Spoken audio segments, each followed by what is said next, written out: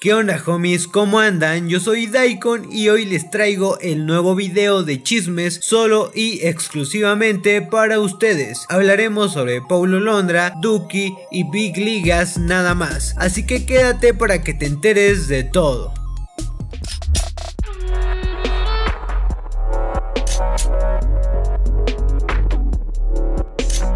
Desde hace ya varios días, un par de gente me estaba pidiendo que hablara sobre el chisme de Paulo y Rocío. Al momento de hoy, ya saben que me estoy refiriendo a su relación amorosa. La gente me estaba diciendo que ya habían regresado y que estaban juntos mejor que nunca. Y la verdad es que a mí me da risa todo eso. Mucha gente piensa que Rocío regresó con Paulo ahora que ya es famoso y que lo hizo por interés. Esto también me da mucha risa. Hay solo una verdad y la verdad es que no puedo negar que Rocío y Paulo son un gran ejemplo de pareja. Siguen juntos y por lo que se sabe nunca terminaron. Nunca, repito, nunca. Sí sé que desde un tiempo por acá ellos dejaron de mostrar su relación por las redes sociales, pero lo hicieron por motivos muy obvios, puesto que una relación pública para un artista como lo es Paulo es muy difícil de manejar hoy en día, con todo lo que se puede hacer con las redes. En pocas palabras, Paulo y Rocío decidieron ocultar su relación personal al público. Esto para evitar tener problemas y poder estar tranquilos y felices. Así que si tú te preguntabas si habían terminado, la respuesta es no. Así que si tú te preguntabas qué había pasado, la respuesta te la dije una línea atrás. Desde hace un par de días, Paulo y Rocío comenzaron a mostrar que estaban juntos. No sé si fue a propósito o fue accidentalmente. Recién en el concierto de Paulo en Buenos Aires, donde tuvo varios invitados sorpresa, entre ellos Litkila, pudimos verlos más juntos que nunca en las redes. La novia de Litkila, Nadia, subió un par de historias con Rocío, Rocío por su parte hizo lo mismo. En una imagen que Litkila subió a su historia, se puede ver a Paulo intentando robarle un beso a Rocío. Con esto queda claro y no hay duda de que Paulo sigue junto a Rocío. Ya lo voy diciendo como en cuatro ocasiones, pero no hace falta aclararlo una vez más, para la gente que aún no sabe ni qué onda.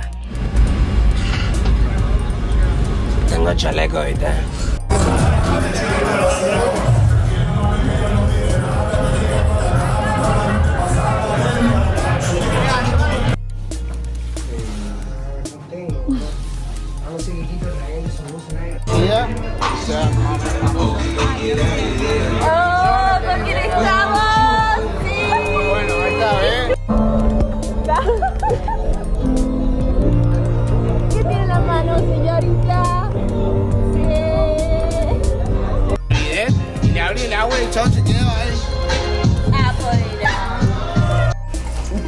Dale, Nado, lavate las manos.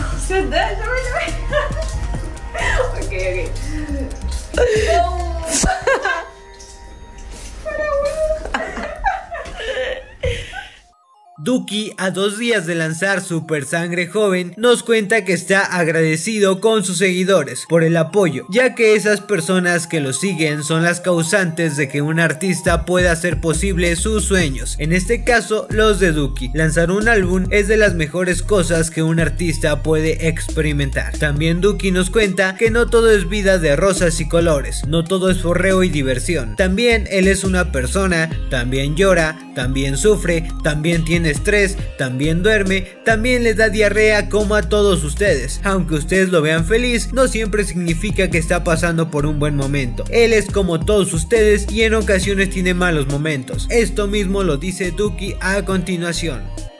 Domingo 3 de noviembre, hace dos días salió mi primer disco.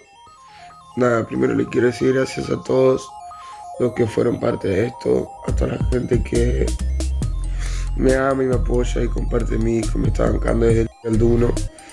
Eh, y nada, quiero recordarles que no es fácil estar de este lado.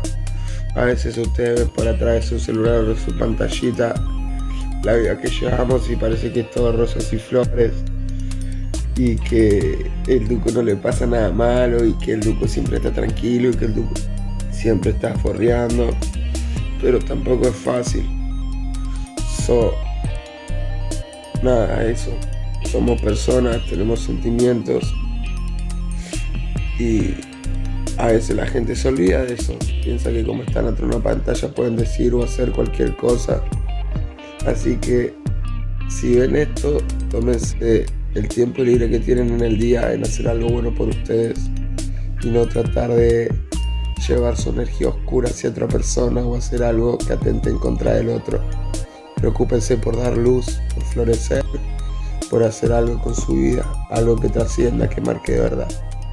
Cristo, la persona que se encarga de representar el sello Big Ligas, hace poco realizó un par de confesiones que la gente pidió. Entre ellas, nos reveló data muy picante como por ejemplo, nos compartió que posiblemente un tema con Tini podría estar saliendo en un futuro. Nos confiesa que si Billie Eilish pudiera ser fichada al sello, la llevaría lo más pronto posible. Posiblemente con Trueno se venga un par de music. También tal vez se venga una colaboración con Camilo. Otra es que Mau y Ricky colaboren en un tema.